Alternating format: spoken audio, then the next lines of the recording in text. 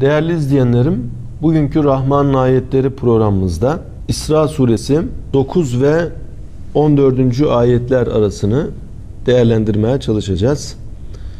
Allahu Teala burada şöyle bildirmekte.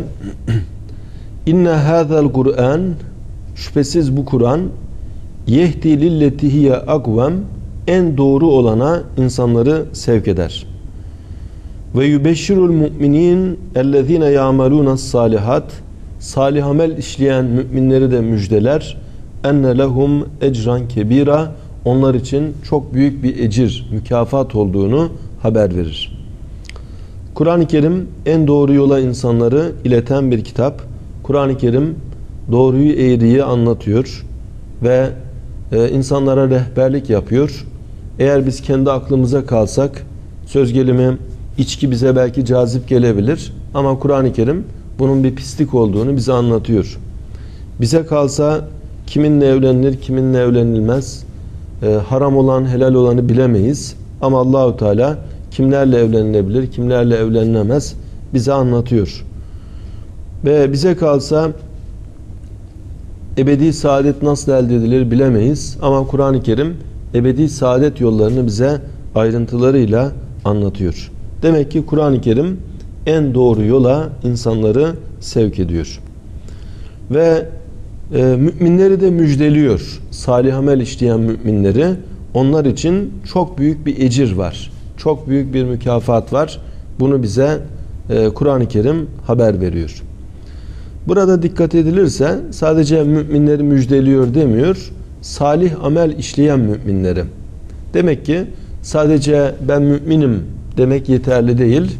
Mümin olan bir kimsenin o imanını ispat etmesi gerekir. İman adeta mücerret bir davadır.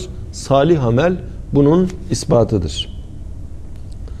Ve ennellezîne lâ yu'minûne bil âhire ahirete inanmayanlara gelince e'tednâ lehum azâben elîme biz onlara can yakıcı elim bir azap hazırladık. Burada ehli iman, salih amel işleyen ehli iman için büyük bir mükafat var. Hemen ardında e, inanmayanlar için, ahirete inanmayanlar için elim bir azap var. Gerçekten ahirete inanmamak aslında dünyada da insana azaba düçar eder. Yani bir insan ahirete inanmıyorsa hayat ona göre sadece şu dünya hayatıdır, kısa bir hayattır ve o insanın hayatı kısa bir zaman sonra sönüp gidecektir. Evvelinde yoktu, sonrasında yine yok olacak. Böylece ha varmış ha yokmuş, bir varmış bir yokmuş gibi böyle bir hayat yaşamış olacaktır. Ama ahirete inanan bir kimse hayatının bu dünyayla sınırlı olmadığını biliyor ve ölümü yeni bir hayatın başlangıcı olarak görüyor.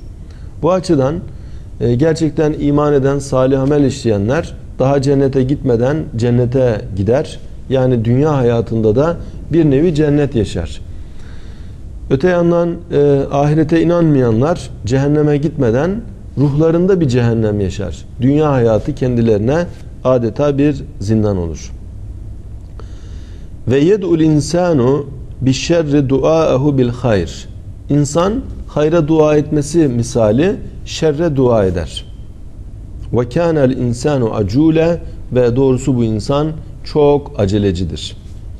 Acaba insanın hayra dua eder gibi şerre dua etmesi ne demek? E bunun değişik misallerini etrafımızda da görmekteyiz. Mesela bir kısım insanlar adeta Allah'tan belalarını istiyorlar. Mesela peygamberimiz döneminde bazıları peygamberimize gelip demişler ki eğer bu Kur'an hak ise Allah üzerimize gökten taş yağdırsın.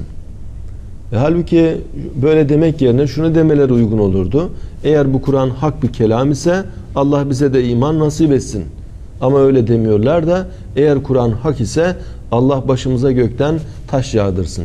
Bu doğrudan doğruya belalarını istemektir. Öte yandan diyelim bir anne e, çocuğunun diyelim bir hareketine kızdı. Çocuğuna lanet ediyor. Allah canını alsın diyor. Allah e, şöyle yapsın, böyle yapsın. Kötü şeyler söylüyor. Halbuki e, Allah canını alsın dediğinde o anda Azrail görülse kendisine alayım mı çocuğunun canını dese anne belki de şöyle diyecektir. Aman aman ben çocuğumun canının alınmasını istemem. İlla bir can alınacaksa benim canımı al diyebilir. Ama böyle olmakla beraber pek çok insanın ağzından beddua tarzında şeyler çıkabiliyor. Mesela Allah'tan hayırlı bir evlat istemek varken e, diyelim çocuğu olmayan bir anne e, Ya Rabbi bana ölü de olsa bir çocuk ver diyebilir. Hayırsız da olsa bir çocuk ver diyebilir. E, bu beddua gibidir. Hayra dua eder gibi şerre dua etmektir. Halbuki Allah'tan hayırlısını istemesi gerekir. Ve öte yandan ve kânel insanu acule ve bu insan çok aceleci. Yani insan peşin lezzetlere e, talip. Sadece şu dünya hayatını daha çok nazara alıyor. Ahiretten genelde gaflet ediyor. وَجَعَلْنَا اللَّيْلَ وَالنَّهَارَ ayeteyni Geceyi ve gündüzü iki ayet kıldık.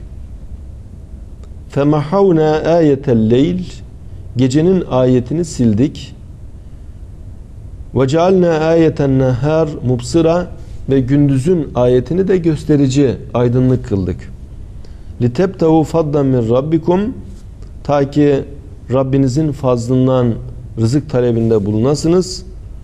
Ve lita'lemu adedes sinine vel hisab ve yılların hesabını, yılların sayısını ve hesabı bilesiniz diye. Ve külle şeyin fassalnahu tafsila biz böylece her şeyi birer birer ayrıntılı bir şekilde anlattık. Değerli izleyenlerim burada e, gecenin ayeti ve gündüzün ayeti. Gecenin ayeti aydır, gündüzün ayeti güneştir. Ve Allahu Teala bu iki gök cismiyle e, gecemizi ve gündüzümüz, gündüzümüzü aydınlatmaktadır. Ama gece ve gündüz birbirinden farklı.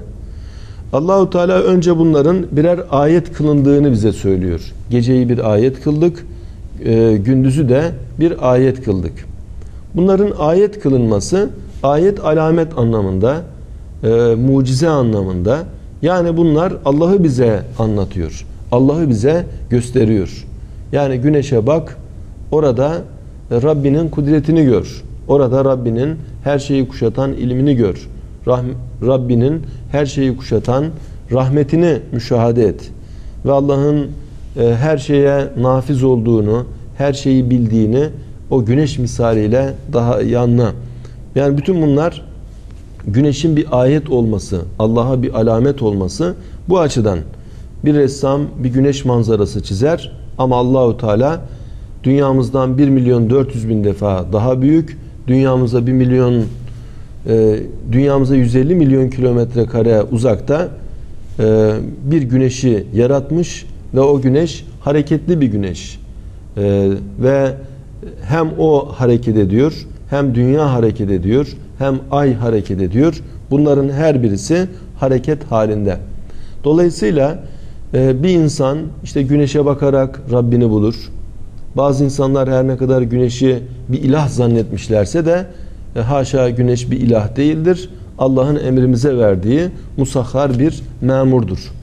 Ay e, o bir ilah değil. E, ilah olan Allah'ın emrimize verdiği gecelerimizi aydınlatan bir lambadır. Ve aslında şu alemde her şey birer ayettir. Her şey Allah'a bir alamettir. Nasıl ki bayrak dalgalandığı her yerin devlete ait olduğunu gösterir Bu ayetler de bütün alemin, alemlerin Rabbinin emrinde olduğunu bize göstermektedirler. فَمَحَوْنَا آيَةَ اللَّيْلِ Gecenin ayetini mahvettik, sildik. Burada belki de başlangıç itibariyle ay o da güneş gibi parlak bir cisimdi. Belki bir ışık kaynağıydı ama onun ışığı söndürülmüş. Ayet-i kerimenin buna bir işareti var. femahavne ayetel leyl gecenin ayetini sildik. Yani ayın doğrudan kendinden bir ışığı artık yok. Biz geceleri ayı parlar bir vaziyette görüyoruz ama o doğrudan kendisinden değil. Kitaplarımızda bu şöyle ifade edilir. Nurul gamer müstefadun mineşşems. Yani ayın nuru güneşten istifade iledir.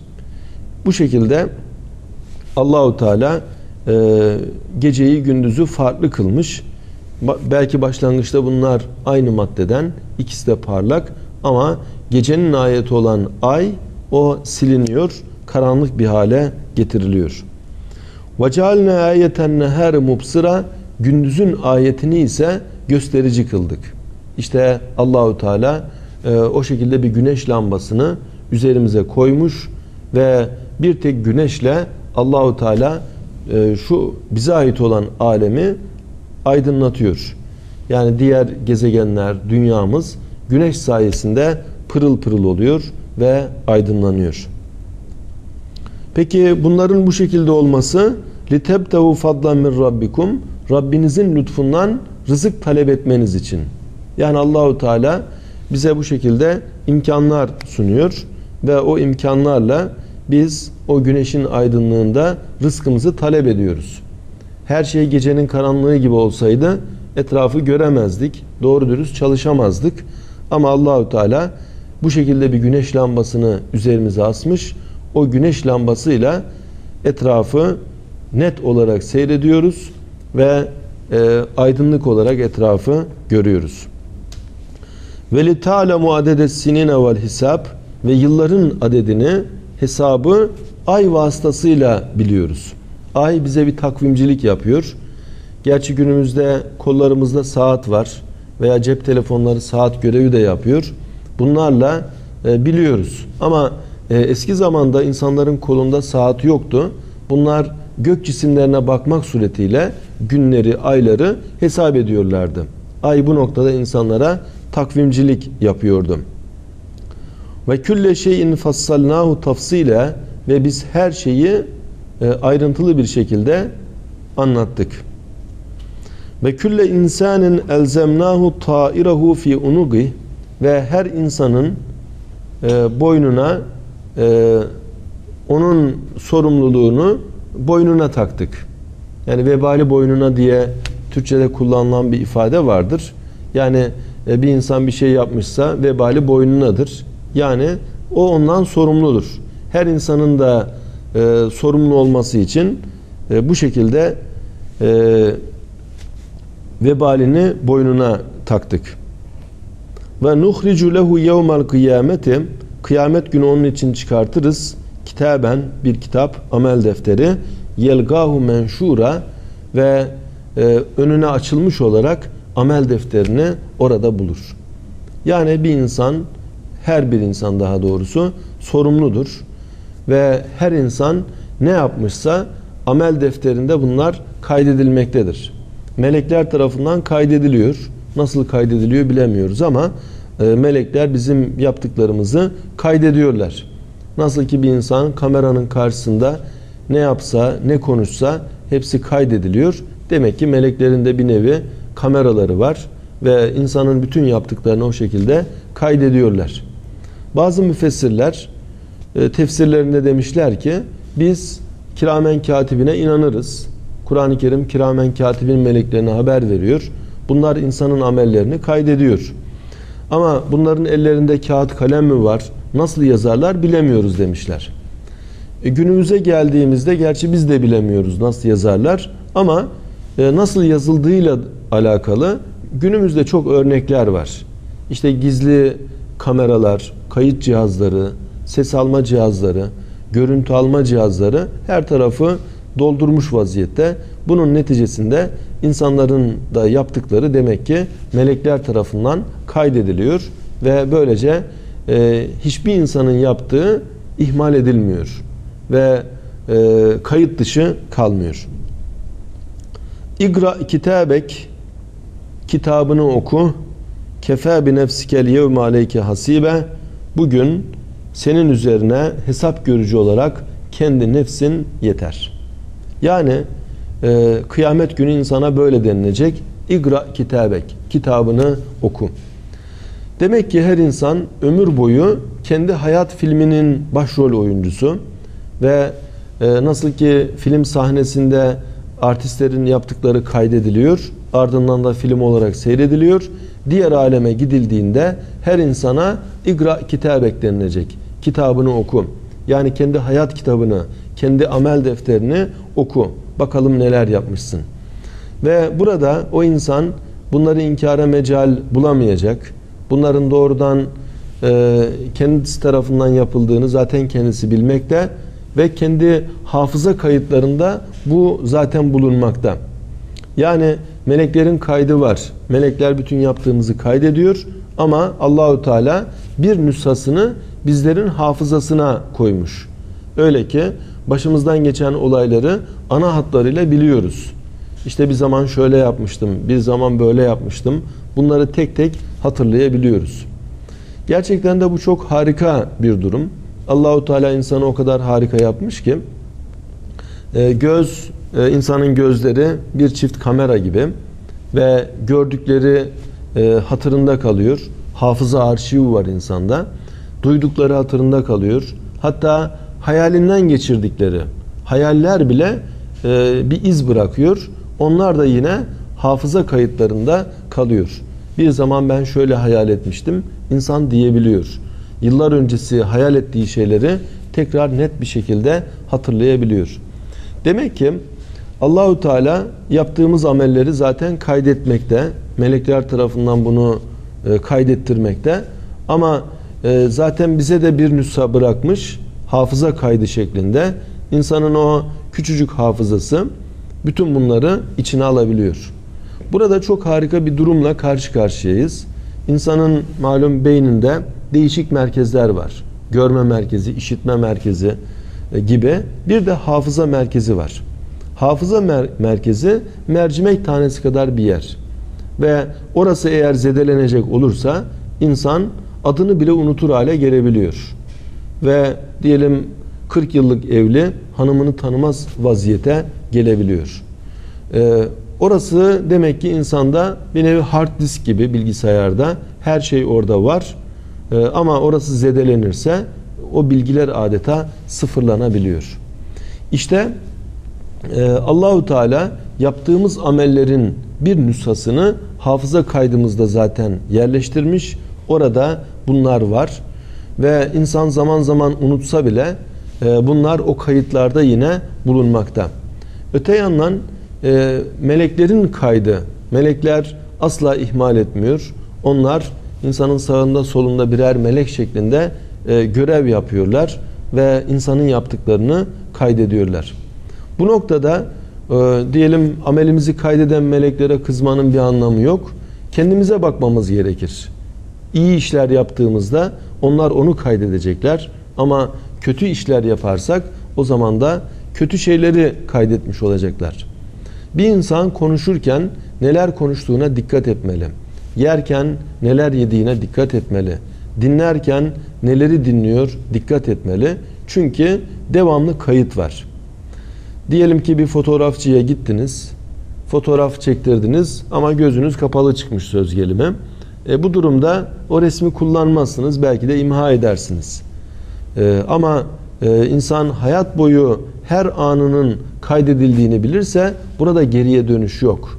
Ancak geriye dönüş şöyle olabilir. Tevbeyle istiğfarla. Yani hepimiz insanız. Hepimizin bir takım eksikleri ve kusurları var. Dolayısıyla geriye doğru şöyle baktığımızda e, ileride bizi mahcup edecek bir takım durumlarımız da olmuştur. Herkes vicdanen bunu bilir. Elini vicdanına koyduğunda hatalı olduğunu itiraf eder. Belil insanu ala nefsihi basira velev elga maazira İnsan her ne kadar mazeretler ileri sürse de yine kendi nefsini görmekte ve bilmektedir. Dolayısıyla e, elini vicdanına koyduğunda evet ben gerçekten şu noktada kötü yaptım. Şu noktada kendime dikkat etmedim. Şöyle şöyle günahlara girdim. İç aleminde bunları değerlendirebilir, muhasebesini yapar. Diğer alemde hesaba çekilmezden önce kendi içinde vicdanında ciddi bir hesaplaşma yaşar ve bunun neticesinde pişmanlık duyar. Ve bu pişmanlık duyma güzel bir olaydır. Peygamberimiz Aleyhisselatü Vesselam en nedmu tevbe buyuruyor. Yani pişman olmak tevbedir. Dolayısıyla pişman olduğu zaman bir insan e, bundan dolayı Allah'a tövbe eder ve Allah'a istiğfarda bulunur. günahlarının bağışlanmasını ister. Bu noktada yine Peygamberimiz Aleyhisselatü Vesselam bize şöyle bir müjde veriyor. Ettaibu minezzembi kemen la zembe lehu. Yani günahına tövbe eden kimse sanki günahı olmayan kimse gibidir. Bu da çok büyük bir müjde. Ve yine Kur'an-ı Kerim'de Cenab-ı Hak şöyle bildiriyor. Yemhullahu ma yeşâ'u ve yuthbit. Allah dilediğini siler ve dilediğini de sabit bırakır. Bu insanın günahları cihetiyle de böyle. Eğer bir insan tövbe istiğfar ederse Allah onun günahlarını siler ama tövbe istiğfar etmediğinde o günahlar sabit olarak kalır. Demek ki diğer alemde insan hesaba çekilecek. Orada kendi hayat filmini baştan sona görecek ve bunun neticesinde e, eğer iyi şeyler yapmışsa ebedi bir saadet onu bekleyecek. Cenab-ı Hak bizleri ebedi saadete nail olanlardan eylesin. Bir başka programımızda tekrar beraber olmak ümidiyle hayırlı günler ve geceler diliyorum.